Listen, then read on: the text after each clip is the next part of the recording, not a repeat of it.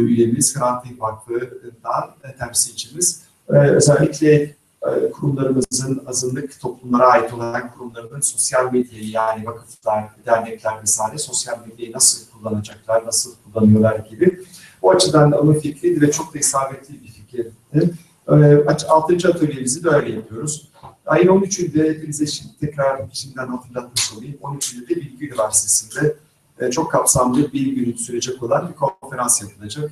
Her seferinde ya biz sosyal medya devamlı aynı sosyal medya azınlık temasıyla yani bütün her devam bir tekrar söz konusu değil. Çok farklı şeyler göreceksiniz bu konferansta. O oranında o organizasyonda başında Ulaş Karan arkadaşımız Bilgi Üniversitesi'nden o kendisi yürütüyor. Biz de destek olmaya çalışıyoruz. Ee, aynı zamanda Twitter'ın, sosyal medya gibi e, bir sürü kurumun e, hukukçuları, savunucuları, avukatları gelecek. Yurt dışından, yurt içinden uzmanlar, hocalar gelecek. O açıdan 13'ünü lütfen e, ilgili arkadaşlar e, bu konuyla ilgilenenler borç bıraksınlar ve 13'ünde hem çevrenize hem de e, konferansımıza katılarak hem bizleri desteklemiş olursunuz hem de fikirlerinizi tekrar paylaşmış oluruz. Ben şimdi e, sözü e, nerede? Evet. Geliyor musun? Konuşmacılarımızı tanıtırsın. Ben Cemre'ye veriyorum. Kendisi koordinatörümüzdür. E, Erkan Hoca da geldi. Hoş geldi. E, tekrar teşekkür ederim. Merhaba tekrar. E, başlayabiliriz artık sanıyorum. E, konuşmacılarımızı çok bir kısa ben tanıtayım. Kendileri de konuşurlar zaten. E, Gözde arkadaşımız Agos'tan ve sosyal medya editörü. E, Trak Doğan e, Bilgi Üniversitesi Helsinki Üniversitesi'nde e, ders veriyor. Onun dışında TESEV'de araştırma iletişimi direktörü. E, Erkan Sıkı'yı biliyorsunuz. Projemizde sosyal medya uzmanı çalışıyor.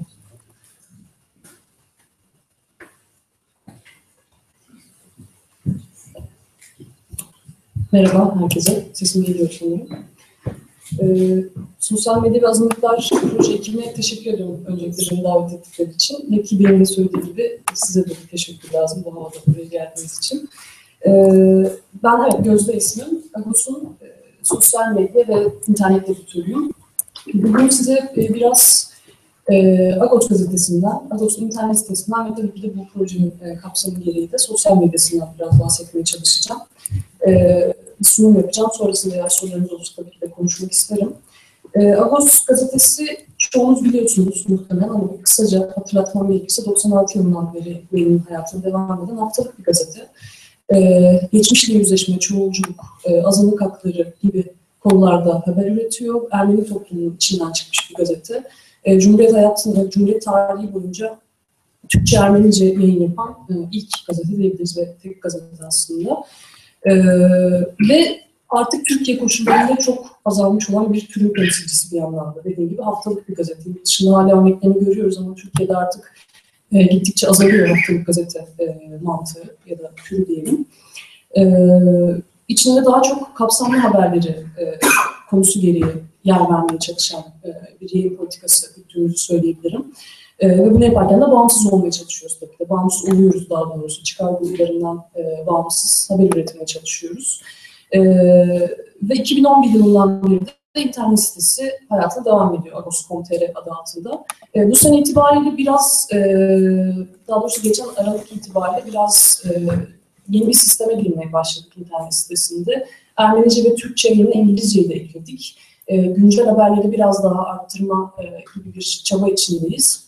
Yani üç dilli olarak e, artık Ermeni diasporasına daha e, iyi iletişim kurabilmek ve aynı zamanda Türkçe okumayan, yani e, Türkçe dışında İngilizce e, konuşan, okuyan e, okuyucularımıza ulaşabilmek açısından önemli bir adım olduğunu düşünüyorum. Özellikle Türkiye'deki Ermeni toplumunun e, sorunlarını onların da e, görebilmesi açısından. E, ve tabii ki de bunları yaparken e, insan hakları odaklı, hak odaklı bir habercilik anlayışına sahibiz ve bunu yaparken de hem nefret söylemini ve ayrımcılığı dışlayıcı hem de bizatihi nefret söylemini aslında deşifre de edici bir rol oynamaya çalışıyoruz. Bu biraz sosyal medya meselesini konuşurken önemli olan bir şey aslında. Ee, genel olarak e, hem sitede hem de gazetede e, son dönemde özellikle sosyal medyanın etkileşimiyle birlikte gittikçe hızlanan haber akışına e, biraz dahil olmaya çalıştığımız ama bunu yaparken e, kendi adıma naçizane söyleyeyim, e, belki katılmayanlarımız olabilir ama diğer sitelerde, e, diğer haber sitelerinde özellikle sitelerde yani gördüğümüz e, haberin arka planını e, vermeyen, o gün o anda ne olduysa onu veren fakat nedenin içini çok sorgulamayan anlayışın e, biraz eksikliğini e, yaşayan aynı zamanda bir okuyucu olarak bunu tamamlamaya çalışıyoruz haberlerimize. Yani bu olay neden olmuştu? E, kapsamlı derken biraz da bunu kastetmiştim. Hem sitede hem de e, gazetede biraz bu dengeyi gözetmeye çalışıyoruz. E, sosyal medyadaki durumumuz ne? Biraz ondan bahsetmek lazım tabii. E, bundan önceki toplantılarda da muhtemelen epey konuşulmuştur. O yüzden biraz belki klişe olacak. Çok tekrarlamıyorum ama sosyal medyanın artık özellikle geleneksel medyanın e, algısını kurmasının çok önemli bir yeri olduğunu biliyoruz. Hem habere katılım e, açısından hem de haberin üretiminin e, artık bizatihi öznesi olması açısından sosyal medya epey önemli. O açıdan biraz algıyı kırdı diyebiliriz. Bir anlamda bir fikir platformu tabii ki de. Ama bu biraz bulanık sularda da yüzebilen bir fikir platformu. Nefret söylemi e, ve ayrımcılık içeren e, ifadeleri de barındıran bir nefret, e, bir fikir platformu. E, biz neresindeyiz? Hem e, önce biraz gazete açısından anlatmaya çalışacağım. Sonra da e, okuyucularımız ve kullanıcılarımız açısından. E, belki bunu bir öz eleştiri olarak algılayabiliriz. E, Agos gazetesinin e, yani Agos gazetesini e, biz yöneten ve sosyal medyasını yöneten insanlar olarak biraz mesafeli e, durduğumuzu söyleyebilirim. Şunu kastediyorum. İnteraktif olarak e, okuyucularımıza çok fazla iletişime girmiyoruz aslında. Bunu biraz yayın politikası olarak devam ettirdiğimizi söyleyebilirim. Haberlerimizi tabii ki de aktarıyoruz ama haberlerin altında yapılan yorumlarla ilgili tabii ki de nefret söylemi içeren bir içerik olduğu zaman onu şikayet etme, yollara başvurma dışında o e, akışın içinde çok fazla müdahale etmiyoruz. E, bu bir tercih. E, iki tane sosyal medya hesabımız var. Facebook ve Twitter üzerinden yayın yapıyoruz. E, tabii burada şey de önemli, yani bu sosyal medyanın öneminden bahsederken bunu bizatihi yaşadığımızı söyleyebilirim. Agos'un matbu gazetesinin ulaşabildiği e, insan oranında çok daha fazla insana ulaşabiliyoruz. Yani e, sayı vermem gerekirse bizim Twitter'da şu anda e, kullanıcı sayımız 153.220. E, Facebook'ta da işte 137 bin gönderi olduğunu söyleyebiliriz. Yaklaşık 100 binlik bir e, beğeni kitlemiz var. E, bu Agos gibi biraz e, maddi olarak kendi yanında kavrulmaya çalışan bağımsız bir gazete için çok büyük bir imkan tabii ki de. Yani sosyal medya kullanımı büyük bir imkan. Bir yandan da tabii sosyal medya hani çok büyük bir derya. Artık Twitter ve Facebook zaten olmazsa olmaz şeyler herhalde e, medya mecraları için. Onun dışında yeni olasılıklar biraz e, bulmaya çalışıyoruz. E, mesela Periskop ve Instagram şu anda biraz düşündüğümüz e, mecralar. Instagram apayrı bir e, mecra yani onu e, biraz ayrı çalışmak gerekiyor ama görsel dünya çok hitap ettiği için e, şu anda toplantılarımızda Instagram hesabı açılımı Magus diye epey konuştuğumuzu söyleyebilirim. Periskop'ta e, bilmiyorum aranızda bilenler vardır diye tahmin ediyorum. Yani Twitter üzerinden e, uygulanabilen bir program ve canlı yayın imkanı sağlıyor size o anda. Ben şu an telefonumu açsam ve sizi çekmeye başlasam e, benim takipçim olan herkesin izleyebileceği toplantı olacak. Bu da çok önemli bir imkan aslında e, bir medya mecrası içinde. E, ve Agos için de bir yenilik. E, birkaç kere denedik bunu. Özellikle seçim döneminde 7 Haziran'da e, birkaç süreçte denemiştik. Devam ettirmek istiyoruz. E, çünkü multimedya yayıncılığın önemi de tartışılamaz bir noktada artık. Özellikle internet, internet yayıncılığının içinde. Ee, dediğim gibi sosyal medya kullanımı Agos açısından böyle. Ee, biraz kullanıcılar açısından nasıl? Ondan da bahsedeyim. Ee, iki şeye ayırabilirim. Biri haber aktarımı, biri de e, bizim haberlerimizin e, sosyal medyada oluşturduğu platform görevi. Haber aktarımı dediğim aslında sadece tabii de bizim gazetemize özgü bir şey değil. Çoğu medya mecrasında artık sosyal medya e, yani yurttaş gazeteci dediğimiz noktaya da giren, e, haberi bizatihi görebildiğimiz e, bir mecra olabiliyor. Mesela bize ulaşıyor bir okuyucu ve e, işte bir duvarda e, Ermenilere yönelik nefret söylemi içeren bir duvar yazısını paylaşıyor. Ya da e, yakın zamanda e, şahit olduğumuz hepimizin sadece Ağustos gazetesinde değil, e, Cizre'de e, bir polis aracından yapılan hepimiz Ermenisiniz anonsu. Biz bunu sosyal medya üzerinden duyduk. E, ama tabii burada teyit etme gibi bir e, durum ortaya çıkıyor. Yani bu haberin kaynağı nedir? Bu haber bize geldi ama başka bir kullanıcı tarafından teyit edilebiliyor mu? Haber doğru mu değil mi? E, bu konuda Agos tabii çok e, faal bir şey üretemiyor. Bu da bizim bir eleştirimiz olsun. Çünkü çok küçük bir ekip olarak çalışıyoruz. E, küçük bir ekip dediğim ben tek başımayım yani e, ve sosyal medyada.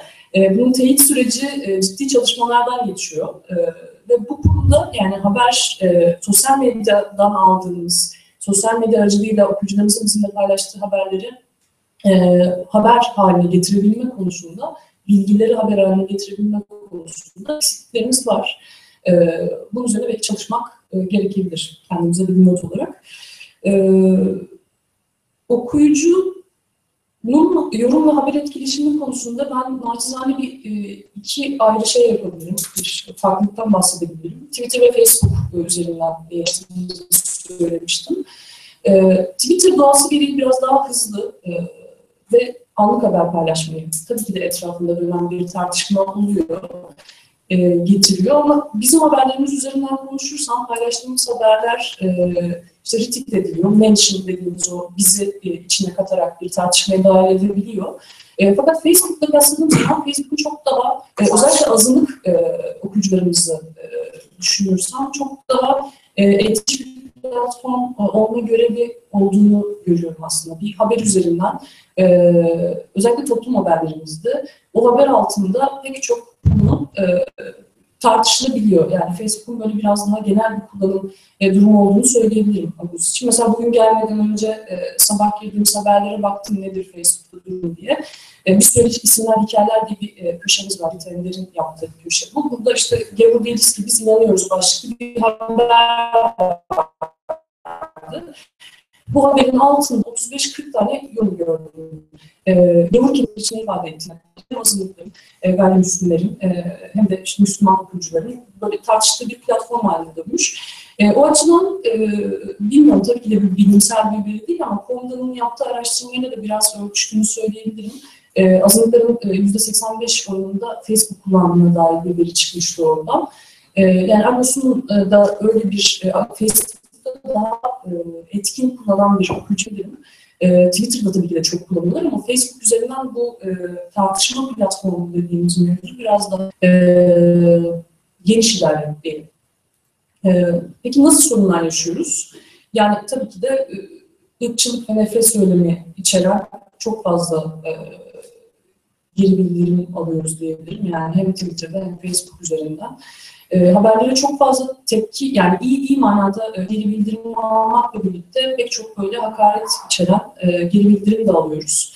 E, burada şöyle bir farklılıktan belki bahsetmek gerekir. E, o, bu haberi paylaşan, e, bir şekilde haberin içeriğine dair fikri olan, e, işte destekleyen diyelim çok kabaca insanlar bu haberi sadece bu haber üzerinden e, üretirken düşüncelerini e, nefret söylemi içeren e, ve bunu bizimle paylaşan e, kullanıcılarda dair değil, Ermenilerle ilgili bütün bir ayrımcı e, düşüncesini o haber üzerinden aktardığını görüyoruz. Aslında ayrımcılığın çok genel bir e, kodu bu, genelleme ve ön yargı. E, bu çok fazla mahsus. E, ve burada aslında şey, yani bu biraz bizim de konuşmamız gereken bir mevzu ama ne yapmamız gerekiyor sorusu.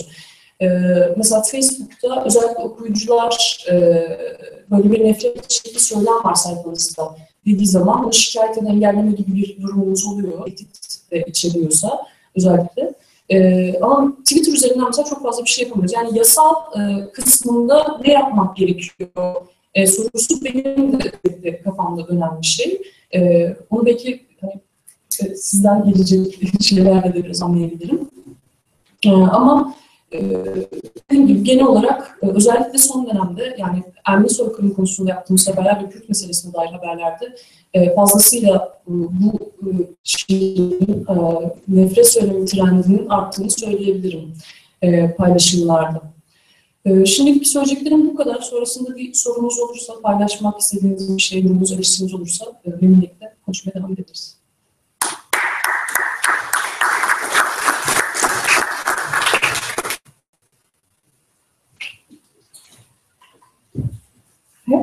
Pardon.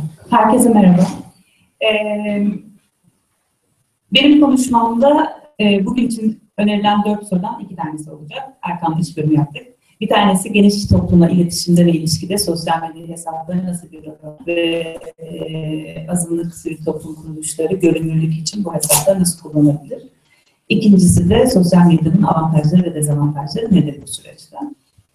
E, ilkinden başlayalım. Şimdi oynadığı rol e, açısından geniş toplumla iletişim dediğimiz zaman e, birinci rolü erişim. E, çünkü bir bilgi akışı sorunu var. Geniş toplumla e, azınlık toplum e, genel olarak e, karşılaştığı. Ya hiç bilgi yok, ya eksik bilgi var, ya e, Gözde'nin söylediği gibi nefret söylemle e, yazılmış, e, üretilmiş içerikler var. E, tam tersi içerikler var. E, azınlık kurumları sosyal medya hesaplarını e, bir alternatif bilgi kaynağı olarak kullanıp doğru, tam, düzenli ve bilgi sağlamak için kullanabilirler. Ve böylelikle o eksik kalan yanlış olan e, bilgi akışını düzeltmeye çalışıp iletişimlerini iyileştirebilirler. Birinci rolü bu. İkinci rolü etkileşim. Yine bilgisizlik, yanlış ya da eksik bilgiye bağlantılı olarak aslında iki taraf arasında etkileşimin de eksik olduğunu görüyoruz. Ee, özellikle sosyal medya e, Web 2.0'ın en cazip e, yanlarından tanesi etkileşim. E, dolayısıyla çeşitli sosyal medya e, kullanımlarıyla paylaşımlar, yorumlar, e, tartışmalar, gözün söylediği etiketleşmeler, mesajlaşmalar yoluyla aslında bu iki grup arasında etkileşimi güçlendirecek bir rol oynayabilir sosyal medya hesapları. Ve eğer bu iki rol verimli e, e, yararlanılırsa bu iki rolden e, belki de üçüncü bir rol olarak e, geniş toplumla e, geniş toplumun içindeki diğer sınıflarıyla azınlık e, örgütleri aslında belki de işbirlikleri, ortak çalışma alanlarında işbirlikleri e, e, kurmaya başlayabilirler. Dolayısıyla e, bu üç büyük rolü oynayabilir eğer e, biraz önce bahsedeceğim avantaj dezavantaj kısmını da e, düzenli ve verimli olarak giderse sosyal medya e, e, yöneticileri, azınlık kurumlarında. Görünürlük için de yine tabii ki Web.2'nin 2.0'ın e, bütün nimetlerinden yararlanması gerekir bu kurumların. Bunlar da nedir? Bir önceki web nesline kıyasladığım zaman bir kere çok büyük miktarda e, yüklü veriyi çok kısa zamanda paylaşabileceğimiz bir sistem bu. Dolayısıyla e, sadece değil, görsel ve video formatlarla içeriğin e, çeşitlenmesi gerekir. E, bunu tabii ki sosyal medya e, kuruluşları yapıyorlar ama ben daha ziyade daha farklı ölçütlerdeki sivil söylüyorum. Dolayısıyla çeşitlendirilmiş içerik e, tabii ki sosyal medyanın sunduğu bir e, değerlendirebiliyor olmak lazım. Ee, geleneksel medya ile kıyasladığımız zaman yine en önemli fark sosyal medyanın çok yönlü iletişim. Yani e, bilginin bir kaynağı giden e, bir noktadan çıkıp diye başka noktalara gitmiyor ama farklı noktalardan birbirine giden çok yönlü bir iletişim söz konusu. Dolayısıyla e, sivil toplum örgütleri, aslında sivil toplum örgütleri sadece bilgiyi sunan, bilgiyi yayan, e, iletişimi başlatan nokta e, yani çok yönlü iletişimle aslında e, hedef kitlesinin de kendi için içerik e, oluşturabileceği şekilde kullanabilir, yararlanabilir sosyal medyada. E, düzenli güncelleme, e, tabii ki görünürlük için de çok önemli. Bir sosyal medya hesabınız varsa ve e, son e, gönderiniz 3 ay önceden kaldıysa bu e, olması gereken şey. E, dolayısıyla hangi hesabınız, hangi hedef kitleniz için varsa bunu mümkün olduğu kadar güncellemeniz gerekiyor. Maksimum yayınma, yine e, bu teknolojinin bize verdiği, e, ürettiğiniz bir içerik sadece ürettiğiniz sayfada kalmıyor, kalmak zorunda değil. İsterseniz onu yayabilirsiniz. E, yine çok önemlisi yeni politik dile, e, yeni politik dile hem görsel hem yazılı yeni dile, özellikle gençlerin e, yeni politik dilinde çok güzel kullanabileceğimiz mecralar sosyal medya. E, hepimiz biliyoruz ki daha önceki e, çalıştaylarda yayınımda e, konuşulmuştur. Özellikle bizden sonra ortaya çıkan özellikle gençlerin tercih ettiği yeni politik dilin hem aslında oluştuğu bir yerde hem de e, belki de e, sizin yazılarınızda da kullanabileceğim bir dili o sosyal medya hesabında e, sosyal medyaca çevirip şekilde kullanabilir. Dolayısıyla bütün bu e, beş özelliğiyle de aslında e, toplum örgütü e, kurumları görünürlüklerini e, arttırabilirler. E, şimdi biraz avantajları ve dezavantaj sorusuna geçelim. E, avantajda söylediğim gibi e, bir kere alternatif bilgi akışı en önemli avantaj. Çünkü özellikle e, ana akım medyada ya da geleneksel e, bilgiye eriştiğimiz noktalarda aslında azınlıklarla ilgili e, bilgilerin, bilgi erişim e, son derece sorunlu. E, dolayısıyla sosyal medya aslında e, kendini anlatmak, kendini doğru anlatmak, nefret söylemini e, düzeltmek, e, eksik olan e, kısımları tamamlamak için çok güzel bir e, şey olanak sağlıyor. E, dediğim gibi yine etkileşim, hızlı yayınlan, e, çok hızlı bir şekilde çok fazla insana, çok fazla kuruma, bütün hedef çok daha hızlı yayılabilirsiniz. E, yeni dil söylediğim gibi yine e, kullanabileceğiniz, e, yeni dili kullanmanın e, sorun olmadan hatta yeni dili kullanılması gereken bir mecra olarak da e, sosyal medyanın avantajlarını görüyoruz. Bir de tabii yine genel olarak internetin avantajlarından her yerde kullanmak, hani gözde sadece kendi ofisinde bu işi yapmak zorunda değil e, aslında elindeki telefonla nerede yan resimdeyse e, kullanabilir.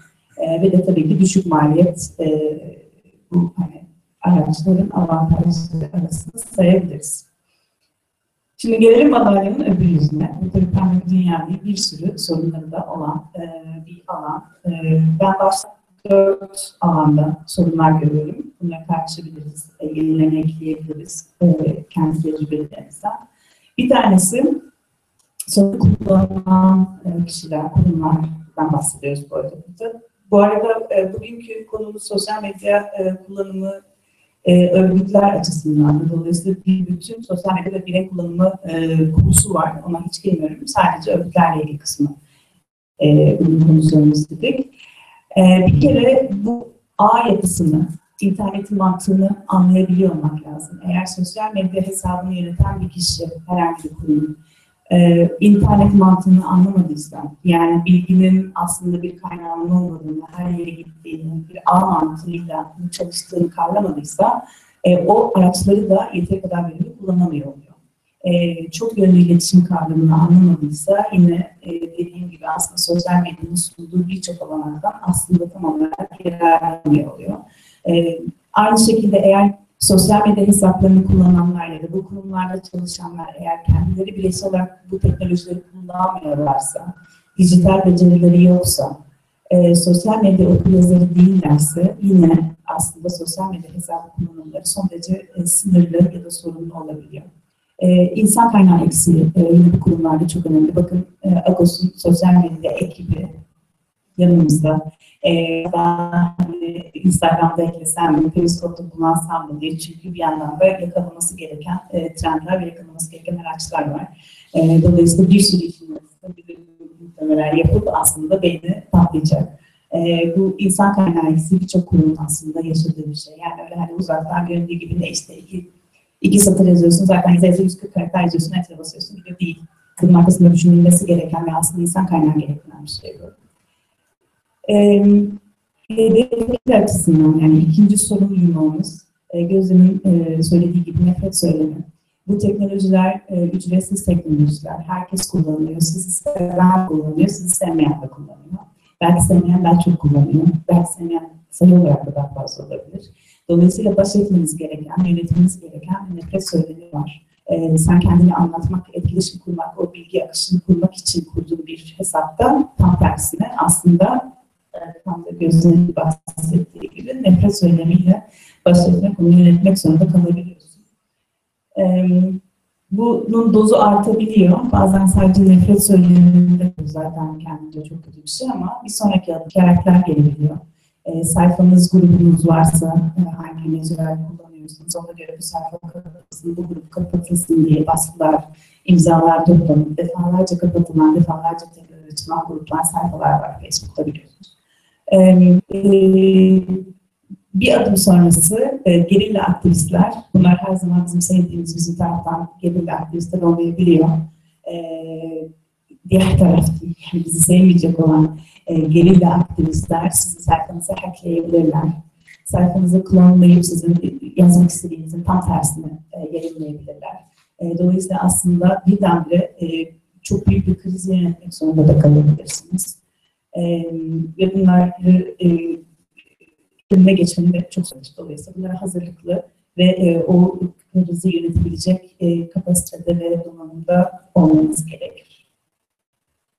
E, üçüncü sorun e, kullanılan araçlar. E, çok popüler olan e, sosyal medya araçlarının tasarımı aslında bizi.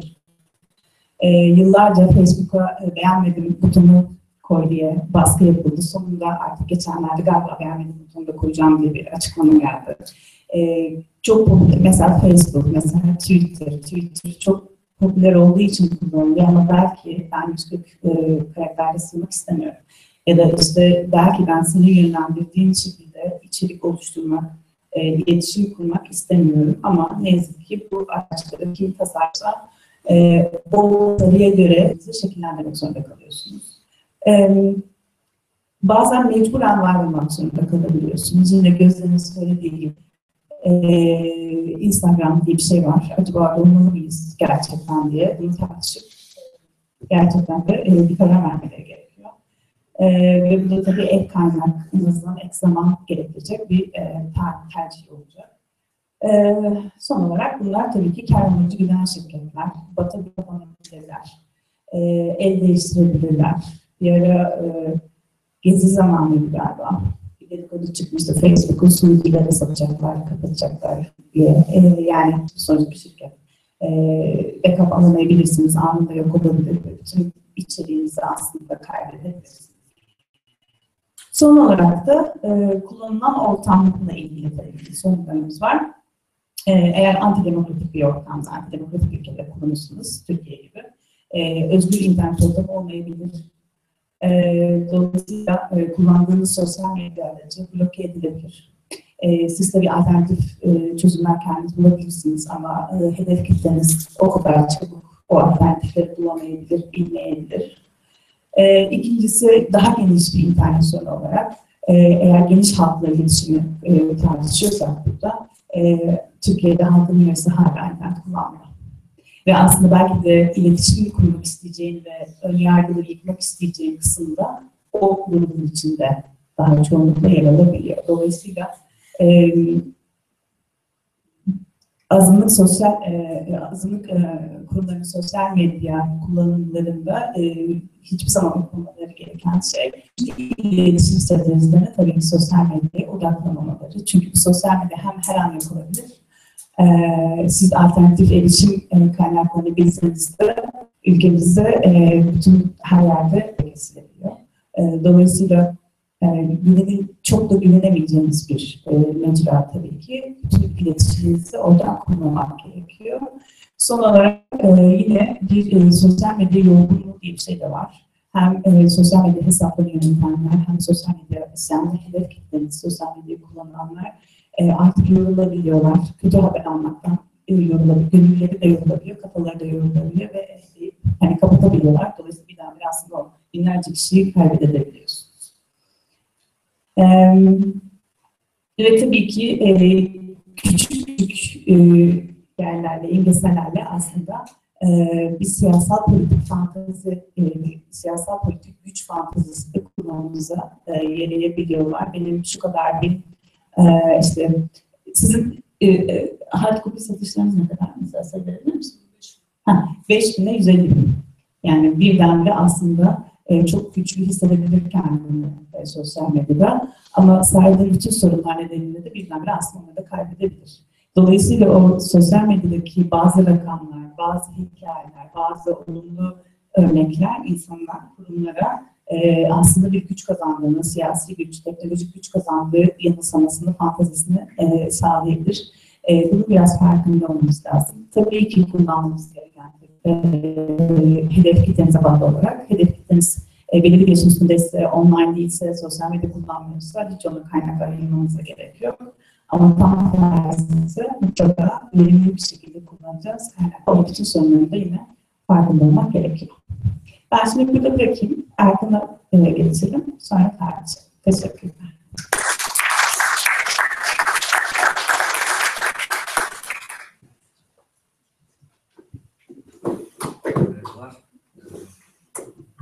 Artık bazılarını sıkıldı benden zaten. Bazı arkadaşlarla altını verir. Onun için biraz daha farklı ben konuşayım.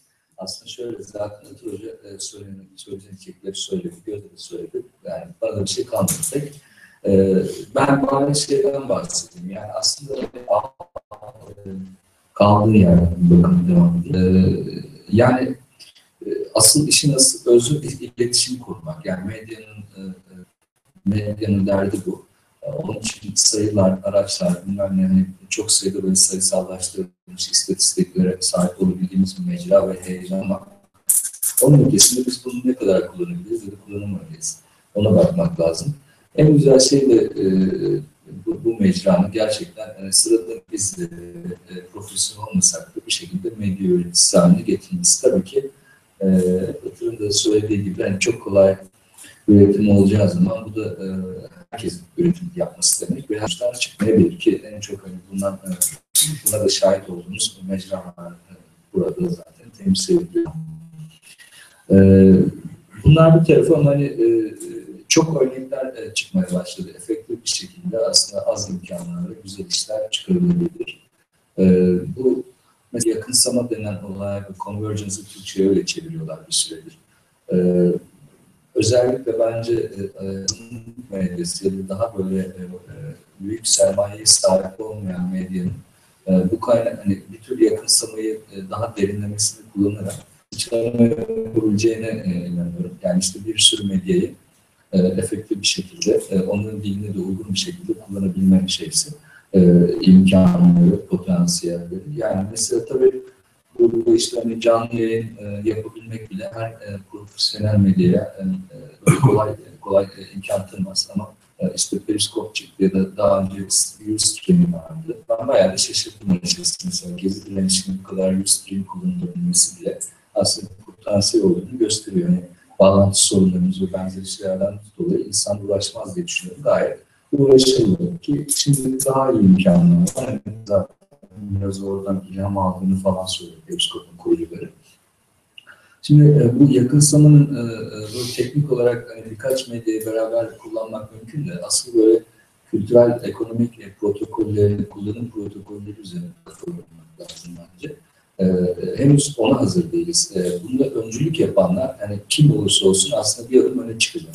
Yani buradan da kastım şu, yani mesela hani şu anda e, kurumsal olarak ne biz ne yani birçok çok kesin hazır değil yani hala. Yani bütün bu söyleme ve şeye rağmen normalde yani sosyal medya konuşurken arkada bir şeylerin dönmesi lazım. Böyle hani ben konuşuyorum, siz bana bakıyorsunuz. Ortada hani, yani hiçbir uygulama falan yok. Böyle, böyle bir sohbet arasında devam ediyor. Yani bir kültürel kod olarak hep yapıyoruz bunu zaten. Şimdi bunu yapabiliriz. Ben şeylerde yaptık ama o bile zor geliyor şimdi. Ben anlatabiliyor? Hani şey o kullanım e, pratiği o kadar hani e, e, henüz böyle doğal hale gelmiyor. Yani hala şu formatı kullanıyoruz. Ee, ve e, diğer için işte ya ses gelmez, çıkmaz ya başka. Geçen böyle büyük bir Fransız şirketinin e, de, de bir sosyal medya e, sohbetine gittim. İnterneti bağlayamadılar konferans salonuna. Yani hani, e, çok genel bir sorun ama e, burada tabii hani sosyal medya üzerine konuşuyorsun, internet yok. E, işte olduğu kadarıyla. E, hani bu böyle kullanım pratiklerini e, daha böyle doğallaştı. O zaman bence iletişim kapasitesi daha da artacak. Ve hani e, insan gücü her halükarda lazım. Ama mesela 10 kişiyle yapacak şeyi yapabileceksin belki bu doğallaşma içinde. E, yani bunun böyle altını çizeyim. Bunun bir sürü boyutu var bence. Hala böyle e, açıkçası benim gözlemlediğim e, hem hani azınlık medyası denen hani kategoride ama genelde bile böyle yani en şu anda en çok dijitali kullanan medya e, grupları bile hala hani böyle bir e, buyurgan bir bakışa sahip. Geleneksel medya tarafından bakıyor. Ondan sonra da e, yani hani doğru olur yani ben oradan gelmiyorum. Ben tek bir tane hayatımda gazete çalıştım. Orada gazete bile denmeye- denmez belki bazıları demez yani. E, sonra arada söylerim çok gurur ama e, yani şunu, şunun için bunu diyorum.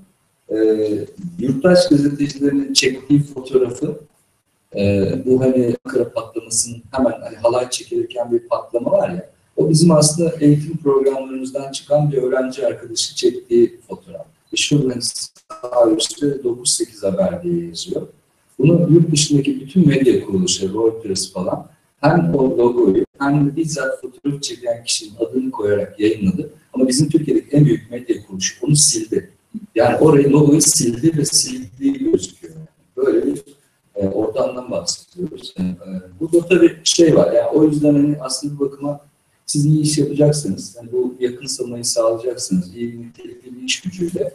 Yani koskoca de- dev medya kuruluşlarına bile bence e, meydan okuyabilirsiniz. Yani bu onları yıkmak anlamında değil. Yalnızca daha güzel örnekler çıkarabilmek açısından. E, zaten e, Türkiye'nin e, medyası istisnalar dışında sürekli kötü örnekler verdiği için hani bence e, biz öyle, o kadar da kötü bir yerde değiliz şey olarak.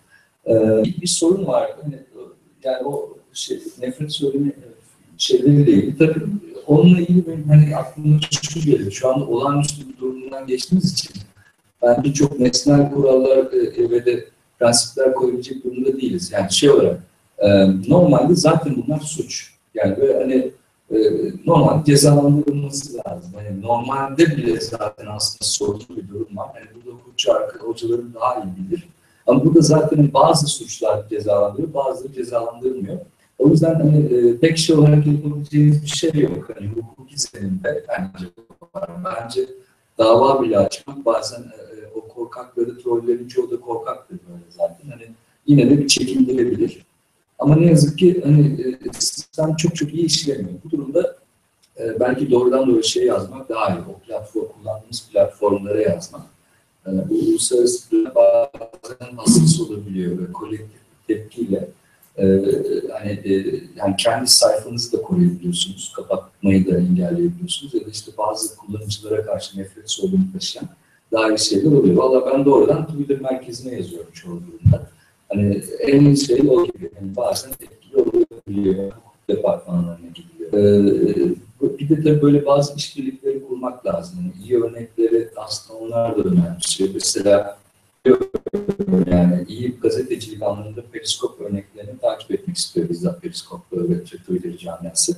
Onlar böyle kurulabilir e, ittifak yani şey olarak zaten yaptığın güzel işi gösterme anlamında e, bu sayede. Ama hani bazı şeyler hani belki geçiş döneminde e, bunu, bunları daha çok maruz kalacağız. E, belki yine kolektif bir şekilde aşmak da olabilir. Bir şu var hani çoğunlukla zaten trollere cevap vermemek en iyi e, çare oluyor. Bloklayıp geçmek. E, ya da bazen e, eğer sabrınızı e, koruyabiliyorsanız ki o da pek kolay bir şey değil. Aslında hani, değil de e, hani kavgayı izlemeye gelmişlere hitap eder bir dil de kullanabilir. Hani üçüncü kişiler aslında bazen.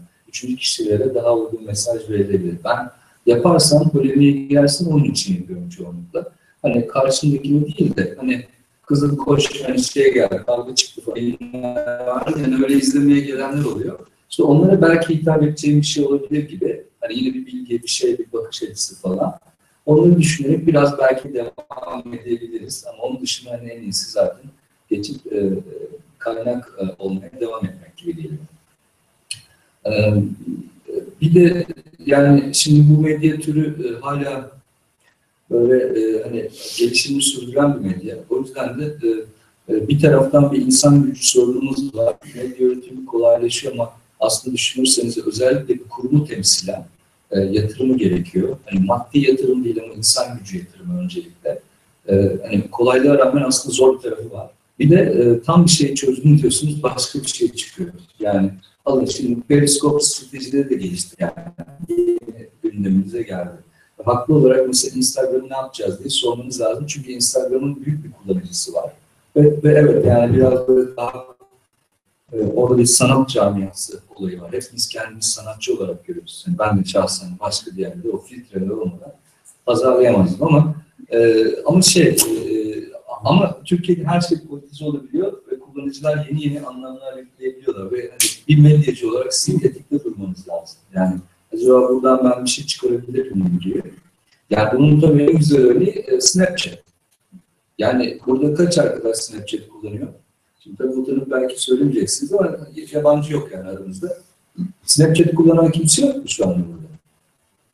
İşte bu. İşte bu sosyal medyacı rakibe Yani normalde hani Snapchat şu anda tamamen hani ergen gibi gözüküyor.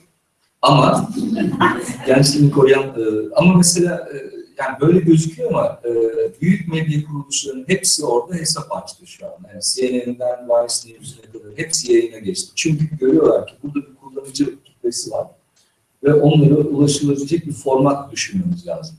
Hani belki sizin önceliğiniz bu olmayabilir tabii yani her şeye başarabilecek diye bir şey yok. Yani o ama e, kitle analiziyle hani kime ulaşacağım derdinde.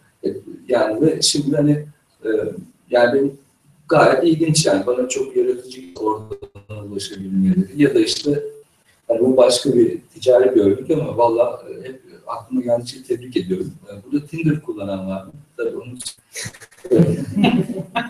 yani belki arkadaşlarınız kullanıyordu. Oradan biliyordunuz. Belki ben siz kullanmamışsınız. Tinder. Evet o yasaklı. Şimdi normalde mas şeyi ve çok da tam bak şimdi mobil dönemi yakalamışlar. Hani, efendim? İyi, evet evet yani. Ben, e. Şimdi e, e, yani mobil dönemi de iyi yakalamış. Daha önce de bir sürü arkadaş bulma sitesi hizmeti vardı. Ama Tinder'da böyle siz şöyle tık tık arıyorsunuz. Herkesi beğeniyorsunuz. İki tarafın birbirini beğenmesi lazım. Hiç çete başlayabilirsiniz. Beni daha bir kere bile beğenen çıkmadı. Ben dedim ki acayip sinirli oluyorum o dair de. Ee, karşınıza gofret çıkıyor. Ya birisi oraya reklam vermiş. Ülker. Yani bence çok yaratıcı. Hani yani bravo. Hani onu beğenirsiniz gofret gönder yani. yani gofret alamadım ama e, yani öyle bir reklam yapıldı, anlatıldı, ödül ödül de kazandı. Bravo. Yani o şeyi görüyor, orada bir damar var. E, gofreti yedirdi bize. Ne yapalım? Başka bir şey bulamıyorsan onu bulursun. Bunları düşünmek lazım bence. E, ve hani e, ve bunlar cidden çoğu zaman hani, masraftan çok aslında bir e, böyle yaratıcı olabilecek şeyler. E, ve hani fark yaratıyor. E, hani işte ben sizin zaten örneğinizi veriyorum o 1915 e, Twitter hesabı. Hani mesela o kadar şey ki. Ha. E, yani hani buranın tabii olunca şey oluyor. Evet, yani mesela o kadar şey ki yani hani elde malzeme var. Bir tane Twitter hesabı açıyorsun ve onu giriyorsun. Yani çok kreatif bir şey bitti. Ee, bunun gibi hani böyle e, ama işte burada hani bir taraftan çok kolay gözüküyor ama bir taraftan aslında cidden bir insan gücü lazım. Ee, yani eğitim şarta kadar geliyor. Yani. Gelen kültür bilmem ne olmadan hani o medyayı iyi kavramış birisi sosyal medyanın gücünü onun birikimle de birleştirmesi gerekiyor bunu. Ve bu örnekler bence bir zenginlik yaratabilir. Yani şu an onun biraz başındayız. Şimdi büyük medya e, böyle büyük uygun bak medya da değilse işte hani çevreler de biraz böyle böyle bir açılım başladı. Hani aslında Gezi Parkı büyük bir dönüm noktasını. Yani ben Gezi Parkı'na önceki tüm e, STK toplantılarına katıldığım ve başka yani böyle alternatif ortamlarda hep böyle e, endişeyle bakıldığını gördüm sosyal medyaya. Yani Amerika'da aktivistler falan ya da Batı'da çok hızlı girdiler bunlar. Ama bizde böyle hep bir çekingenlik vardı böyle. Hani çok hani çoluk çocuk işi bilmem. Sanki çocuklar iyi iş yapamaz bu arada. Hani. Ama hani Gezi'den sonra bir en azından sempati arttı ama hani pratik güzel şeyler de çıkmaya başladı. Ama hala sanki daha hızlanabilir süreç ve bir şeylik var. Bir çekinceler falan devam ediyor. Ben de burada durayım. Hani çok böyle şey yapmayayım. Belki soru cevap ya da daha pratik şeylerle devam edebiliriz. diyeyim. Evet. Benim bir sorun var.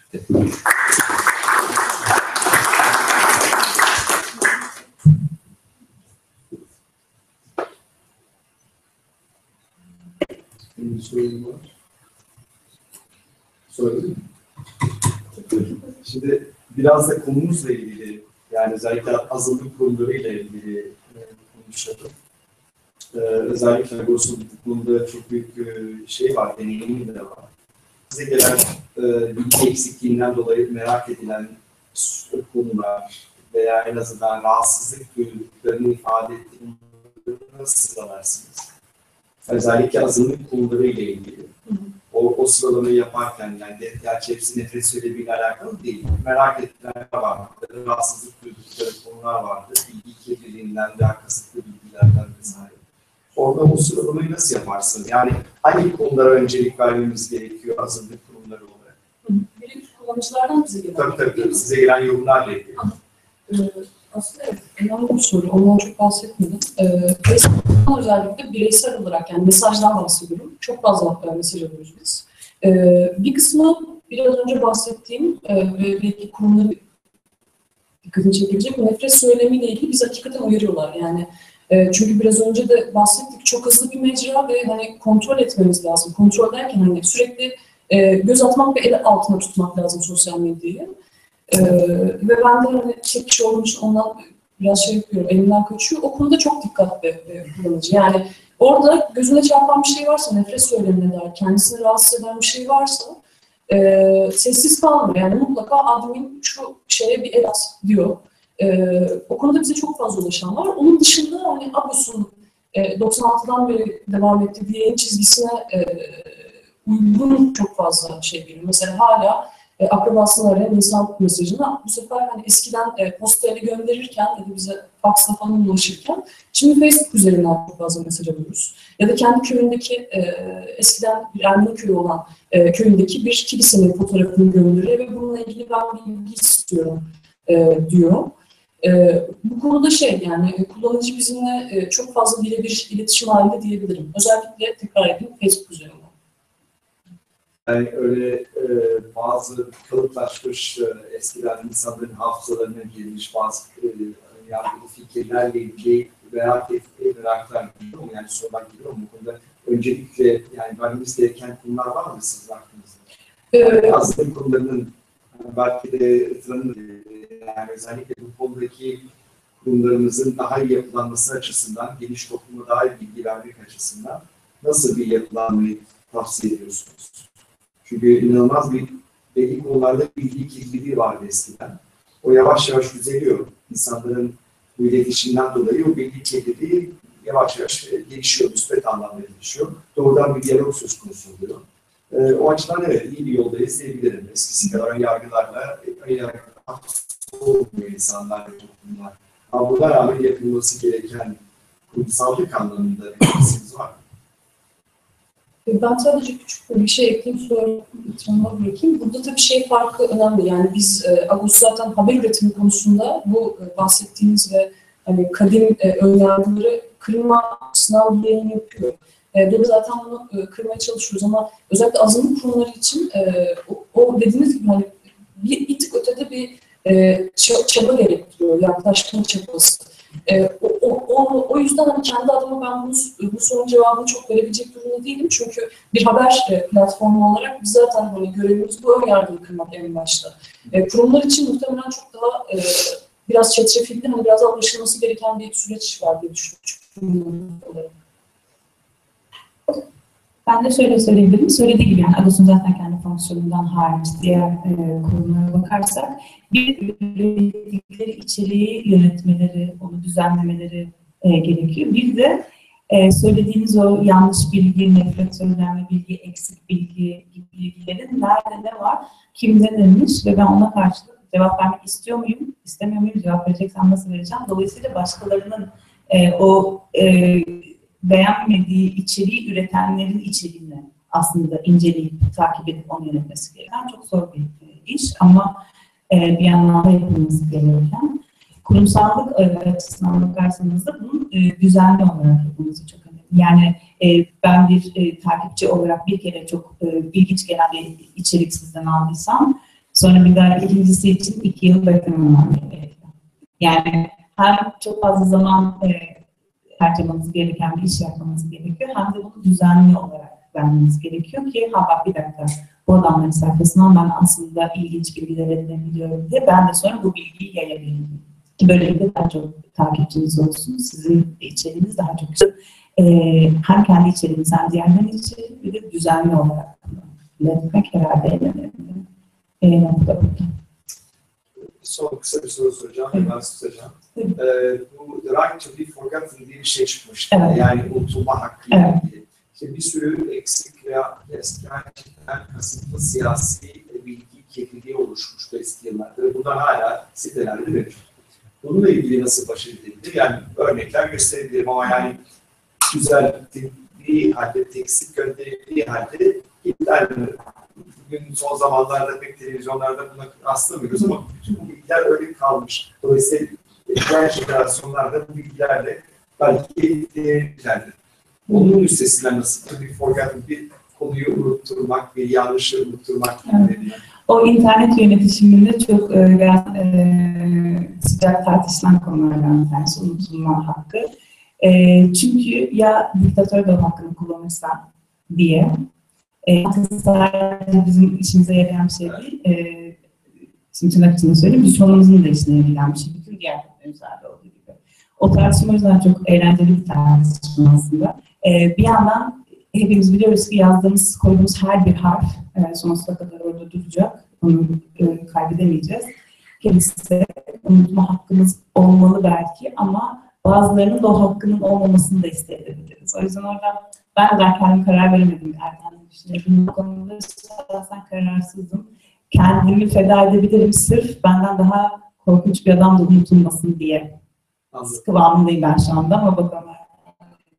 Ben de aslında e, böyle negatifite üzerinden yaklaşmamak lazım diye düşünüyorum. Yani hani bunu e, unutturmak değil de e, sizin hani bu bir medya savaşı aslında. Yani şöyle söyleyeyim, evet o bir kelime bile, bir nokta bile unutulmuyor ama insanlar da ikinci sayfanın ötesine geçmiyor Google'lara.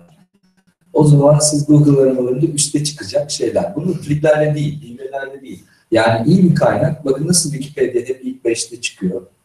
O zaman siz de e, yani böyle e, bir dizi böyle referans siteleri e, ve yani kaynaklarla bu sağlanabilir. Yani gerçekten insanların çoğu ikinci sayfanın ötesine geçmiyor. Ben hani genelde kişisel itibar inşasında da anlatıyorum. E, Erkan Sak'a yazınca 3 sayfada çıkıyorum. böyle tabii yılda bir iki ama diğer Erkan Saka'lara yıllar içinde tanıştığım iki tane daha var. Çok üzülüyorum yani. Anlatabiliyor? Yani e, var ileride var bir şeyler ama domine etme meselesi ve bence bu yapılabilir bir şey. Bu, bu hani şu var, e, bizzat hile burada yani böyle hakaret gibi durumlarda aslında böyle bizzat sildirilebiliyor da. Yani böyle bir süreç de olabilir. Yalnızca mahkeme kararı başka şekillerde de bu bazı durumlarda silinme olabilir ve bence aslında böyle medya kuruluşları ya da benzeri şeylerle ilişkiye de geçilebilir. Yani bizzat söylenebilir yani bu materyalin şey. Şöyle söyleyeyim hani zaten büyük sitelerin e, sayfalarında varsa bunlar e, e, önüne çıkıyordur.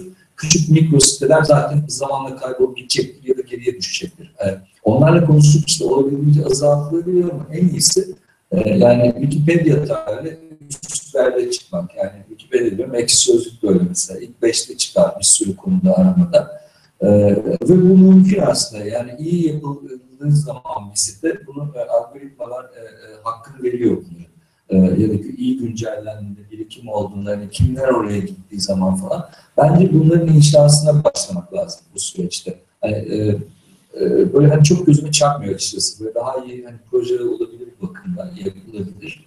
E, strateji belirlemek lazım. Onların inşası böyle olacak. Bir de e, yani aslında işimizi iyi yaptığınızda, yani ben çok içeriden takip etmiyorum. Ama mesela Agos e, şu kuraklık döneminde Türkiye medyasındaki son 3-4 yılda bir tane böyle parlayan bir şey oldu.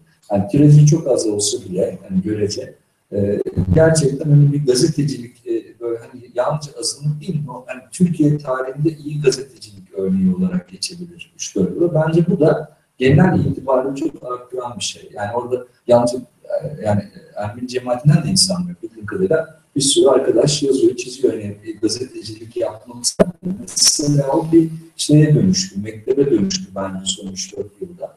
Bu da ilginç bir şey. Hani iyi midir, kötü müdür, acaba iç şeyden tabii o artık daha iç kararlardı.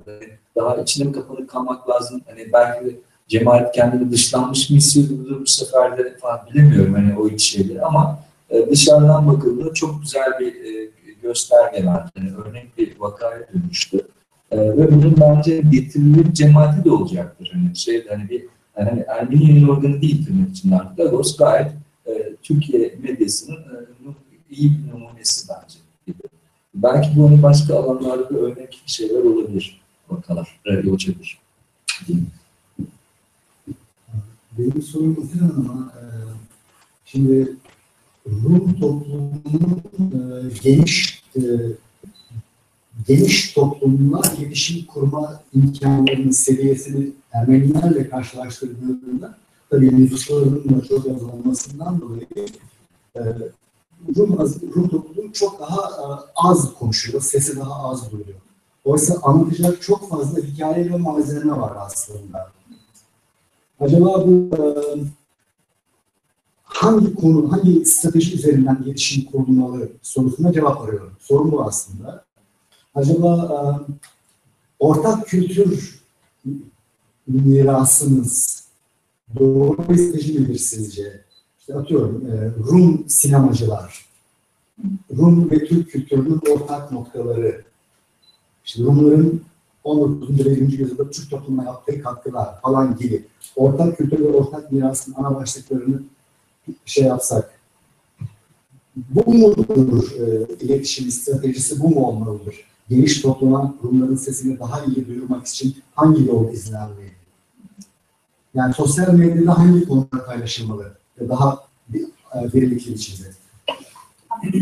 Şimdi önce şeyi hatırlamamız gerekiyor. Ee, iletişim araçları sizin içeriğinizi anlatmak istediğiniz insanlara anlatmanızı kolaylaştıran araçlar. Dolayısıyla e, Duyuyor musunuz? Ha. Ee, iletişim araçları sizin iletişiminizi kolaylaştıran araçlar. Sizin iletişiminizi yaratan araçlar değil. Dolayısıyla ben aslında yüz yüze konuşurken şu konuyu konuşacağım, sosyal medyada bunu mu konuşsam e, diye karar vermemeniz gerekiyor. Önce ben o geniş toplumdan neyi anlıyorum? Geniş toplumda ben Rum cemaati olarak kimle aslında daha çok ilişkiye geçmek istiyorum? Kimle daha çok iletişime geçmek istiyorum? Kimdir bu adamlar? Ve insanlar neyi duymaktan e, mutlu olurlar, neyi duymak onlar için ilginç gelir. Önce onu bir araştırmak gerekir. Daha sonra bu insanlar bakalım aynı zamanda sosyal medya kullanıyorlar mı? Eğer sosyal medya kullanan kişilerse o zaman ben bu içeriğimi, ben bu iletişimimi bu insanlara sosyal medya hesaplarını nasıl yapayım kısmı ikinci gelen bir şey. Konu sorduğunuz için söyledim. Konuyu sosyal medyaya göre e, seçmek bence doğru değil. Bence önce siz kimle e, iletişime geçmek istiyorsunuz ona karar vermeniz gerekir.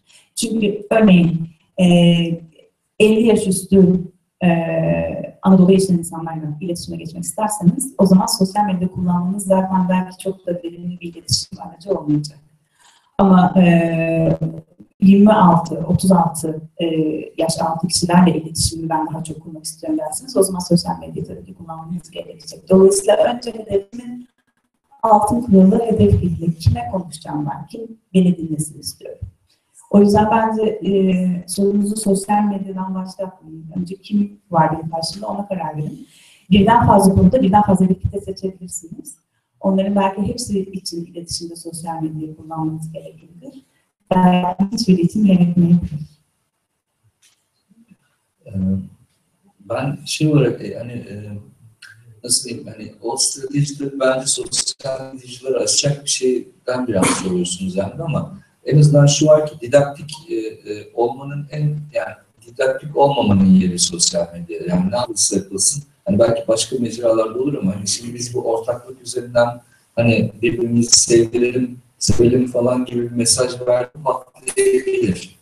Yani e, orada böyle e, mesela o, o sosyal medya dilini de yakalamakta fayda var. Mesela bu ortak şey muhtemelen ortalama böyle biraz eleştirel bakan e, bir e, şey için e, camia için kullanıcı kitlesi için itici gelebilir bile şu anda. Hani 5 yıl sonra değişebilir de bunlar biraz da tarihsel anlarla ilgili. Yani ben ortak bir şey görmek istemiyorum. Hani e, kültürde bir şey. Aksine hani güzel, ucuz, e, e, mezili meyhaneden fotoğraf çekersen zaten bu hani Rum meyhanesi diye bu zaten şeyler daha etkili olabilir. Yani e, taktikler düşünmek lazım. Bir kere de olan bir şey değil ama e, daha doğal bir şekilde aslında etki güç, ifade gücü arttıkça bence zaten şey olabiliyor. E, getirisi hani dolaylı getirisi olabiliyor gibi.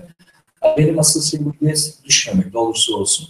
E, burada e, şey çok böyle e, hınzır bir kitle var burada ve hemen terse dönebiliyor. Çok iyi niyetli şeyler şey olabilir gibi yani.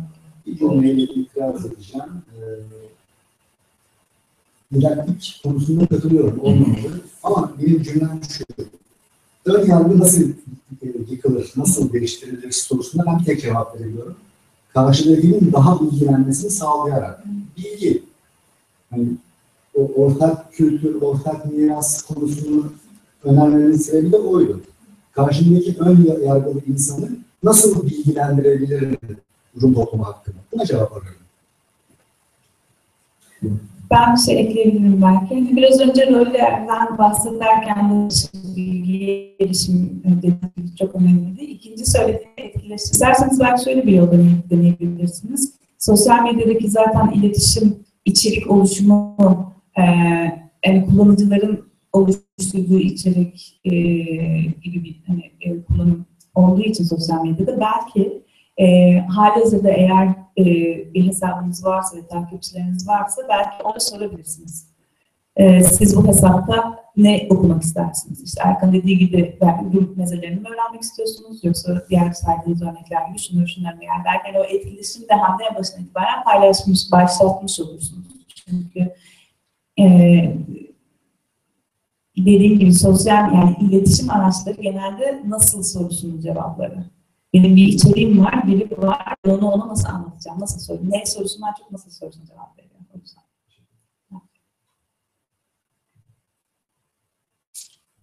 bir şey sormak istiyorum. Daha doğrusu Latif Bey'in açılımının devamı gibi. Ee, Tuna da söyledim, Erkan Hoca da cevap verebilir. Şimdi tabii ki azınlık vakıfları açısından konuştuğumuzdan burada azınlık vakıflarının sosyal medya hesaplarını oluştururken e, vizyonları yani gelecekte kendini görmek istedikleri yerde misyonları sizce ne olması gerekiyor? Yani basitçe bunlar bir fikriniz varsa bunu duymak istedim. Araştır. Hani bence siz konu hani vakıf temsilcileri konuşsun biz yandan destek oluruz bence ona. Böyle iletişim, iletişim açısından. Ee, Yani o orada da yalnız bazı hani bilmiyorum hani genel kararlarla alakalı. Yani bilmiyorum mesela bugün az önce başka bir vesileyle şeye bakıyordum. Mülksüzleştirme hani bu mülksüzleştirmeleri görselleştirmeleri var. Bir tanesi vak hani Vakıflar Genel Müdürlüğü'nün bakın bakanlık mı? El koyduğu vakıf e, mağazaları diye çok güzel bir haritalandırma yapılmış. Şimdi mesela hani bir halk mücadelesinin bir parçası olarak hani yani işte orada ne yapacağınızla alakalı. Ben acaba böyle bir e, e, el konulan malları geri alacağım mücadelesi üzerinden mi kuracaksınız oradaki yapılanmayı? Başka bir şeyden mi? Hani, hani e, e, stratejik karar olabilir gibi hani o, onu siz daha iyi bilirsiniz açıkçası. Hani o karar verildikten sonra ona göre e, hani medya tarafı düşünülebilir. E, hani biz burada çok genel tabii şeylerden ifade ediyoruz. İfade gücünüz ne kadar fazlaysa orada tabii hangi strateji seçerseniz seçin ona göre de hani etki gücünüz artacak tabii medya kullanımınızda. Ee, ama hani bizzat oturan hani şey, siz sanki karar vereceksiniz gibi geliyor bana. Ee, Yani hiçbir teknoloji e, sosyal medyada kendi kendine sizin için bir şey yapamaz. Siz zaten bir şey yapmaya karar verin, onlar sizin işinizi kolaylaştıracaklar. Yani kolaylaştırıcı üzerinden strateji biraz önceki e, soruya da olduğu gibi kolaylaştırıcı üzerinden iletişim, kolaylaştırıcı üzerinden içerik, kolaylaştırıcı üzerinden ben niçin bu vakfı kurdum, bu vakfın amacı ne sorusuna cevap veremezsiniz. Sizin zaten yapmak istediğiniz onun üzerinden e, sosyal medya bana bunun bu konuda nasıl yardımcı olacak? Sosyal medyada ne yapar, ne işe yarar, işte ne rolleri vardır, ne avantajları vardır. Ona göre onu iletişim yapacaksınız. Yoksa tersten gitmek zaten bence pek sağlıklı.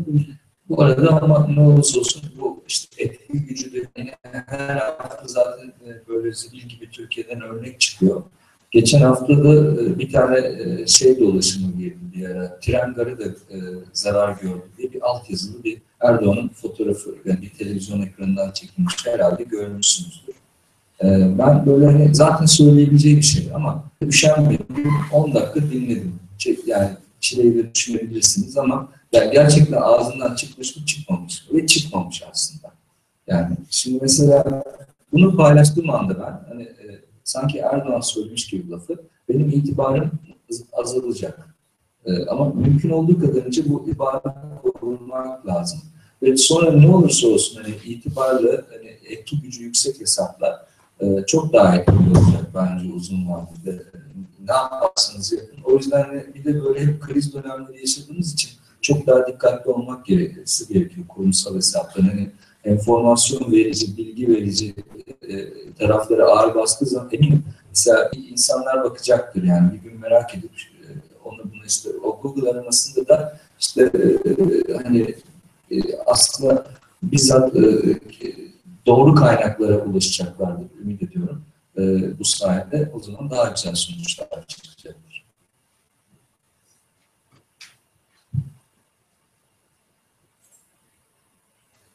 Evet.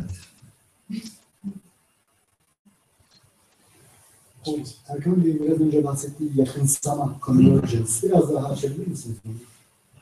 Ee, Şimdi şöyle oluyor, yani hani e, şimdi e, şimdi ilk dönemi bazen örnek veriyorum bu gazetelerin mesela internet ilk dönemde şöyle oldu. Gazete basılı materyali copy paste yapıp kopyalayıp internete koyuyorlardı ve internete girdik diyorlardı. Şimdi aslında bu teknik olarak bir tür yakınsama. İki medyayı beraber kullanıyorsunuz. Ama asıl e, e, kullanım pratiğini geliştirmek ve hani böyle kültürel ve gerçek anlamda bir yakınsamada siz o metni oraya koyarken dönüşüme uğratmanız gerekiyor. E, ne nasıl? Yani internetin metni mesela hiperteksttir. Yani link eklemek, multimedya eklemek. Belki e, daha da ileri boyutlarda okuyu, internet okuyucusu daha farklı olduğu için metnin başlığını bile değiştirmek gerekebilir. E, ya bu bir iş işte. Hiç öyle kolay copy paste olmuyor aslında. İlk başta öyle düşünüldü ve şey oldu. E, ya da mesela televizyonların internete girmesi de başlıyor. Yani televizyon yayını alıp hop oraya koyuyorlar videoları ve e, işte internete geldik diye. Ama bu hani sonra da niye etkileşim olmuyor? Niye istediğimiz gelmiyor? Gelmez. Yani sonuçta internet kullanımının ayrı bir doğası var. Hani o televizyonu oraya koyacaksınız, ona göre stratejiler geliştirmek lazım. Ha, bu arada bende formül yok ama hani bu hala bir e, çaba devam ediyor ama çok güzel örnekler de var. Artık tabii gazeteler de mesela daha iyi. Hani, iyi. Ama yani demek istediğim böyle o iki mecra böyle e, otomatikman bir yere gelmiyor. O yakınsamaya kafa yormak gerekiyor. Ve ona göre hani okuyucuyu da düşünerek, o, o mecranın doğalarına da bakarak yepyeni aslında medya yaratıyorsunuz siz ortaya. ortaya. Onu, onu vurgulamak istedim. İşte hesabı açtım diye birdenbire bütün geniş toplumla çok da iletişime geçeceğim. Herkes beni çok iyi bilecek. Süper içinde olacağım diye bir şey de yok. Yani onu biraz önce söylediğimiz işte sosyal medya dilini çevirmek, ona göre e, yönetmek bambaşka bir şey gerçekten. Ve oradan sağlayacağımız etkileşimle aslında hangi bilgileri daha çok vermemiz lazım, e, ne strateji yapacağız diye onlar birazcık oradan da çıkabilir. Yani oradan birazcık aslında e, yenilikçi, e, yaratıcı fikirler oradan çıkabilir. Ama kendi kendine o hesap onu yapmayacak. Evet böyle e, Twitter'da 5 milyon insana hitap ediyorsunuz. İşte hani diyelim ki 10 bin takipçiniz var. 10 bin kişi bile değil. Attığınız tweet bin kişinin falan timeline'ına düşüyor. Çok acıklı bir tablo var orada. Yani yine bazı evrensel şeyler geri geliyor. Yani hiç böyle böyle kitlelere seslenemiyoruz istediğimiz kadar. Ama bu hayat böyle. Yani life is unfair. Yine burada da geldi. Onun için hani, onun hani etkileşimi arttıracak şeyler. Bir de hani çok basit gibi gelebilir ama yani hani algoritmalarını da e, etkilemek için yani böyle birbirimizin hani, bir, hani bizzat birbirimiz olmasa bile e, hani takip ettiğimiz kurumları destek için o beğeniyi bile, like'ı basmayı bile bence ihmal etmeyelim. Onlar sayılıyor bir yerde. Ona göre daha çok hani biz zaten tanıyoruz, seviyoruz, okuyoruz deyip böyle geçmeyin, paylaşın, beğenin, bir şey yapın yani yorum yapın. O etkileşim oranı artıyor öyle. Zaten yani düşünüyorum bazı durumlarda 20-25 kişi bile ilk anda bir tepki gösterse o bir anda daha çok timeline'e düşüyor falan. Ee, ve doğal şekilde gelişiyor. Yani illa zoraki olmasa da ama bence hani e, değer verdiğimiz hani geliş, hani böyle gelişimini istediğimiz yayın organlarına e, o bu kadar destek olabilir herhalde çok zor bir şey değil zaten. Geliyor, düşüyor, follow bas falan. Tabii abartıp bazen okumadan da basıyor, oluyor ama yani o da insanlık hali zaten. Ee, hani böyle küçük şeyler ve mikro destekler bile aslında bayağı bir etki, etkiliyor e, şeyleri. Bir sürü küçük yapıyı. Yani birbirine ihtiyacı yoktur ama e, belki Ağustos artık belli bir eşiği açtı ama yine de daha küçük yayın organları için bu özellikle lazım. Yoksa timeline'e düşmüyor. Reklam vermeden siz gözünüze girmiyor o şey ve her zaman da bakmıyorsunuz, bakamıyoruz. Öyle kalıyor onlar. Sonra e, bunun yapımcıları da üzülüyorlar. Etkileşim az diye. E, böyle bir sarmal oluyor. Böyle mutsuz bir şekilde yaşıyor. O beğen tuşuna basalım yani. Evet. Sosyal medya başladığından itibaren muhtelif yeni ürünler ve uygulamalar da devam ediyor. Ee, bu gidişatı nasıl yorumluyorsunuz, nasıl görüyorsunuz? Ee, trend nedir? Ve 2015'in trendi neydi? Ben diyorsun. Yani bu e, her gün yeni bir araç çıkıyor tabii ki. Evet. E, ve çıkmaya devam edecek. Yani bugün burada verdiğimiz işte çeşitli isimler, çeşitli örnekler önümüzdeki sene burada oturduğumuz anlayacağız. Mesela bu salonda kim MySpace'i hatırlıyor? İyi fena. E, Facebook'tan önceki olaydı. E, şimdi çok fazla insan, çok fazla genç e, bilmiyor bile. Facebook gittikçe yaşlandı. Gençler aslında artık Facebook'tan e, çıkmaya başladılar. Twitter'dalar, yok Periscope'lar, Snapchat'ler bilmem ne. Yarın başkası olacak. Şirketler yeni e, araçlar tabii ki her zaman artacak. Trend mümkün olduğu kadar görsel, mümkün olduğu kadar kısa, mümkün olduğu kadar en ciddi mesajı bile eğlenceli vermek. Çünkü e, artık insanlar, gençler sıkı çok çok olsun istiyorlar bir şeyler. Ve üzülmek de istemiyorlar. En üzücü şey bile daha hani mizah, e, yeni politik dilin en önemli e, e, elemanı e, mizah. E, eğlenceli ve mizahi bir dille yapılıyor olması. Ve tabii ki çabuk paylaşılabiliyor olması. Dolayısıyla bunları bir araya getirdikçe araçlar, e, yeni yeni araçlar, yeni yeni e, trendler olacak. Ama 2015 e, yani araç hızı olarak vermem gerekirse sanırım pek Olabilir. Bir de tabii şey var, mobilleşme devam ediyor. Yani internete şuradan gireceğiz artık. Ee, bu, bu da demek ki o kadar para verdik ya dizayn ettirdik web siteleri gitti çok. Hani e, şeye hoş yani yeni bir trend değil ama hani artık kesinlikle mobil dostu olması lazım. Google bile aramalarda öne çıkarıyor. Yani e, o kadar hani yatırım yapıldı eminim bir noktada web sitelerinin önemini görüldü, yapıldı. Ama şimdi eğer mobil e, dostu değilse baştan yapılacak yani o, o şart. Yoksa siz yani şu o kadar çok buradan il- geriliyor ki e, geri kalırsınız. Yani bu, bu mesela genel bir trend. Yalnızca azınlıkları ilgilenmiyor. Ama zaten zaten hep beraber yani gidiyor. Onun için e, ama şurada mobil olanlar öncelik kazanacak. O kesin. Hani orada artık şey tartışılır. Mobil dostum olsun, uygulama mı yapalım? Bence çoğu durumda uygulamaya gerek yok ayrıca. Hem pil yiyor hem şey çok uygulama da bir taraftan. E, öyle öyle şey rahata düşkün bir e, kullanıcı kitlesi var ki yani bir tane fazla uygulama bile yorabilir arkadaşlar. Yani çok zamanımızı ve e, hayatımızı çok iyi değerlendiren bir topluluğuz. O yüzden o bir uygulama yoruyor. E, ama hani bu mesela muhtemelen hani şey daha bize gelmedi. E, hani bu artırılmış gerçeklik e, e, ya da işte burada giyilebilir teknolojiler hani bence gelmek üzere ama e, en azından şimdi mobilleşse yetecek. Yani bir sonraki şeyde saati falan da konuşuruz. Ama burada işte bu kalıpları e, yeni iletişim, dijital iletişim kalıplarını sindirdiğiniz zaman bu yeni yeni şeyler daha çok kolay hazmediliyor. Yani MySpace gitti, Facebook geldi ama sizin açtığı yoldan Facebook geldi ve daha kolaylaştırdı. Ama hani şeyi biliyoruz artık, mantığı biliyoruz. Yani benim en çok üzüldüğüm şeyler RSS okuyucularından Google Reader kapandı.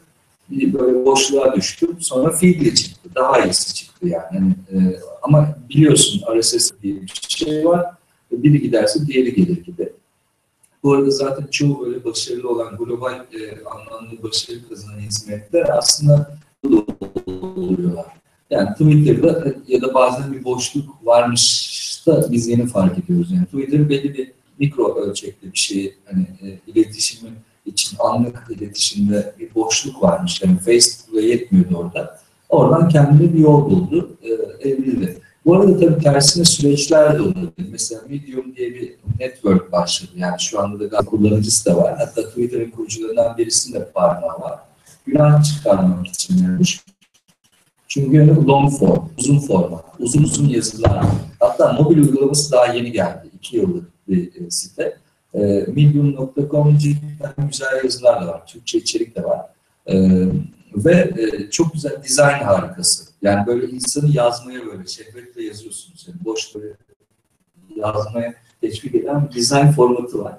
Ve böyle hani belli paragrafları falan paylaşabiliyorsun. Normalde hani bütün bir yazılı linki paylaşılır ve sonunda yorum yaparsın. Burada hani seçip belli bir cümleyi, belli bir kelimeyi de tweetleyebiliyorsunuz. Yazar re- otomatikten referans vererek falan. Hani mesela bu formüller normalde aslında trendin aksine bir şey. Yani her şey kısalırken bir, bir, bir taraftan bazı kişiler için bu rahatsız olanlar için hani bu giderek hani hızlanan ve şeyler medium çıktı. E, onun gibi daha başka trendler de olacak. Eminim mesela kitap tamamen basılı kitap yok olmayacak. Yani belki kitleselliğini kay- ama yani e, e, bir, bir şekilde şekil değiştirerek o devam edecek. Yani e, böyle karşı trendler de her zaman mümkün tabii. Ama hani genel gidişat böyle oluyor, mobilleşerek gidiyor gibi. Bir ekleme ben yapayım. Şimdi hep sosyal medyada kısa kısa mesajlar, Twitter falan diyoruz ya. Bir de e, veri gazeteciliği, Evet, data driven journalism diye o da yeni çıktı sayılabilir. evet, Hani eskinin geleneksel araştırmacı gazetecilik, işlerinin online'la harika bir buluşması üzerine de data. Tabii bunun hedef kitlesi muhtemelen gençler değil işe başarılı. Hani çabuk sıkılan, kısa mesajlar okuyan gençler değil de daha çok long form okumayı seven insanlardır belki ama kişisel olarak bir gelecek görüyorum. Bir de mesela Evet mesela infografikleştirebilirsiniz. Şimdi de suistimal edilen bir şey. Her şey infografi yapılıyor ama mesela o data journalizmden alacağınız bazı daha küçük parçalar e, infografikler şeklinde öğrencilere de gayet hitap edebilir. Yani aslında hiç e, bitmeyen imkanlar var. Mesela hani e, işte şu yaş grubu bunu yapar, şunlar bunu yapar, bunlar bunu yapmaz diye hani kategorik şeyden çok hani bunlara nasıl ulaşılır? Ve herkese ulaşabilecek bir yol var gibi geliyor bana. Aslında benim sizin bahsettiğiniz yakınsama, convergence'a en iyi örneklerden birisi de bizzat veri gazeteciliği. Evet, mesela, evet. Ben bir şey daha eklemek istiyorum. Bu, e, azınlık grup, e, toplum örgütlerinin geniş toplumlar iletişiminde. E, Ermeni cemaatinde değil ama diğer Ermenilerin biraz gözlemlediği cemaatler kendi içlerinde kendi genç üyelerine çok fazla e, ulaşamıyorlar gibi geliyor bana. Gençler sanki o kadar da e, cemaat işleriyle ilgili değillermiş gibi geliyor. Belki de e, önce bu sosyal medya kullanımını kendi gençlerini angaja etmek için kullanıp daha sonra o gençler aracılığıyla yani genç topluma da e, ulaşılabilir. Belki bir şey kullanılabilir. Yani e, zaten kendi bireysel, kendi özel hayatında da kullanmayanlar öğrenip işte sosyal medya okuryazarı kursları alıp, eğitimleri alıp ben bunu kullanmaya başladım diyeceğine baştan gençleri e, bu araçlar aracılığıyla yeni dille, görsellikle, işte trend, e, araçlarla e, angaja edip sonra onların kendiliklerinden bu araçları kullanmaları değil ve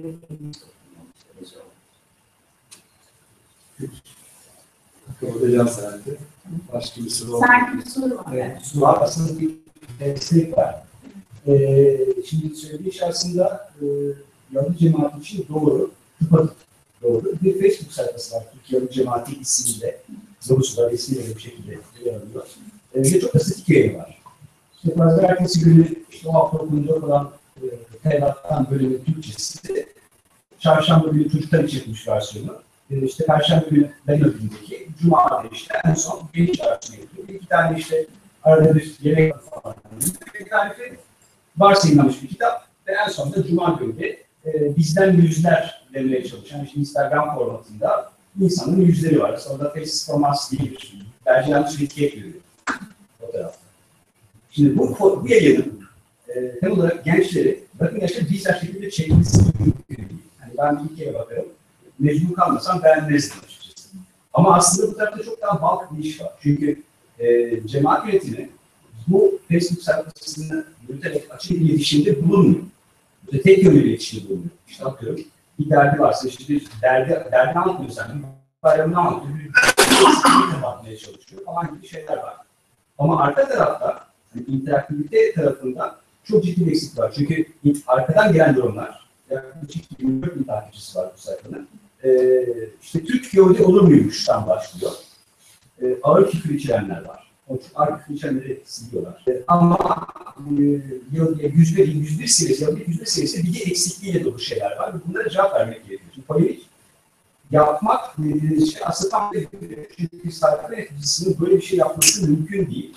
Çünkü o zaman birileri payoniğe gidecek. Ama genç kitlenin tam olarak da burada desteğe gelmesi lazım. İşte bazen mizah kullanarak, ben çok bir mizah yapıyorum işte. Ee, yani çok basit bir şekilde bir şey oluyor. Her doğan çocuk bebek Müslüman doğar. Yorumlar arkadaşlar. Şimdi söylediği şey aslında adamın doğru. Tırnak içinde doğru. Çünkü izleyici kitlede sessiz ve evet doğru gibi altından yorumlar atıyor bu tarafta. Niye doğru? Çünkü din kültür ahlak e, bilgisi, eğitimi bu ülkede onu söylüyor, bilgi veriyor. Çok, çok yani mektep bilgisi, kitabı bilgi veriyor. E, ben girdikten sonra, ya bakın beyefendi ben 5 yıl önce olur mu olduk zaten bilemedik ya yapmış mı olduğunuzu. Hani dersi olursa bir tane olursa size mi geçsin, nereye gidelim? Dedikten sonra arkadan şeyler gelmeye başlıyor. E, destekçileri geniş toplumdan da gelmeye başlıyor. Hani bu bağlamda belki de e, bunun gibi sayfaları yönetici olan kişilere hani sayfayı yapın, bilgiyi sunun, içerik sunun, hedeflerinize uygun içerik sunun ama arka tarafta sizden bağımsız gibi gözlem destek fikriniz olsun diye bir şeyimiz olur mu? Öneriniz olur mu bu tarafta? Olur. Bir de şey de var yani hani böyle e, illa bir yer üzerinden gitmeye de gerek yok. Yani böyle en güzel örnekler böyle kendi kendine başlayıp böyle büyüyen projeler gibi geliyor bana. Yani şimdi şeyi düşünüyorum işte Bobby'ler.org böyle kendi halinde bir blogtu. Sonra Türkiye'nin en büyük bence kreatif hani, e, mon- monte sitelerinden bir haline geldi. E, bir yerden bir şey beklemeye de gerek olmayabiliyor. İnisiyatifler böyle hani sonra çok işler yolunda giderse tekrar birleşilir, şey olur bilemiyorum yani ama hani sosyal medya buna da izin veriyor. Bir sürü aynı anda bir sürü faaliyet. Kaos değil yani illa bir işbirlikleri olarak görülebilir. Ama başlangıçta o destek ekibine bence yani o sosyal medya dilini gençlerin çünkü e, yarı cemaatindeki gençler ben cemaatçisiyle ilgilenmiyorum ama hepsi sosyal medyada var. Oradalar zaten. Vermeye ilgili bir hazırlar. Yeter ki onların frekansını yakalayın. O frekansı yakalayana kadar destek ekibine ben destekliyorum. O fikri. Diğer cemaat için çok geçerli ama e, benim de bildiğim şey cemaatleri daha çok aile cemaatten çok daha şey, e, pasif gençler. Doğru. Başka bir şey yok ama o zaman bu atölyemizi de e, bugün e, sonuçlandıralım. E, çok teşekkür ederiz. Özellikle Hrant Vakfı'na çok teşekkür ederiz. Bize yer ayırdı yine. Salonu bize tahsis etti. Arkadaşlarımıza çok çok teşekkür ederiz. İnşallah e, konferansımızda da daha ilginç konuları paylaşmış olacağız hep birlikte. E, ancak e, bu vesile biraz kapalı toplumlarımızın da e, medya katılımını da arttırmış oluyoruz, teşvik etmiş oluyoruz. Biraz da samimi kendimize analizler yapıyoruz. Biraz daha açık bir platformda yapmış oluyoruz. Bu da gayet iyi bir gelişme sanıyorum. Haklısınız. E, toplumlarımızın sayısı çok az olduğu için bu konudaki e, katılımları da biraz daha dikkatli ol, oluyorlar. Ve bu iki tane önemli sebebi var. Bir tanesi konuştukları zaman sanki bütün toplumlarını da bağlıyor, bağlayacaklarmış diye. Yani işte çünkü karşı taraftan öyle algılar oluşuyor. Halbuki e, azınlık toplumlarının mensupları da birer bireydir. Herkes kendi fikrini özgürce söyleyebilir. Bu e, fikri beğenebiliriz, e, beğenmeyebiliriz, e, nitelik yerlerde kategorize edebiliriz ama o bireyin şahsi olarak söylemesi gereken o özgürlüğe sahip olması lazım. Bu ifade özgürlüğüyle alakalı bir şey ve bireyin ifade özgürlüğüyle alakalı bir şey. Bu azınlık toplumlarımızın böyle bir e, şey var, ön yargısı var. Çünkü genelde bir şey söyledikler mi, söyledikler mi, o insanın bir hüviyeti varsa, şey bunlar öyle düşünüyor. Yahudiler öyle düşünüyor, Ermeniler öyle değil. Bunu aşmamız gerekiyor. Bunu geniş topluma da ve siyasetçilerimize de yansıtmaya çalışıyoruz. Yani bazen birimizin fikri siyasetçiliği veren, siyasetçileri veren, dilemek zorunda kalırız. O bir ifade özgürlüğünü geliştireceğiz. Sanıyorum bu gibi atölyeler e, bu gibi çalışmalarda, çalışmalarda çok faydalı olacak. O açıdan teşekkür ederim. Herkese de ayrıca teşekkür ederim. Dışarıda isteyenler için